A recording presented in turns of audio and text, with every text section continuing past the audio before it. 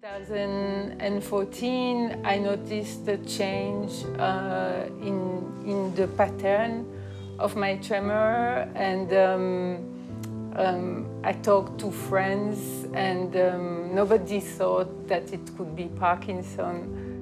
I also one day noticed um, that my left arm was not swinging anymore.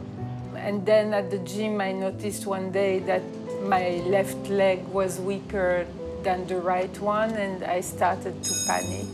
And um, so I went to the neurologist and um, he diagnosed Parkinson straight away. And um, for me, it was really terrible because um, here suddenly, you know, I was not anymore the doctor helping patients. I, I had to cross the border and become the victim of Parkinson.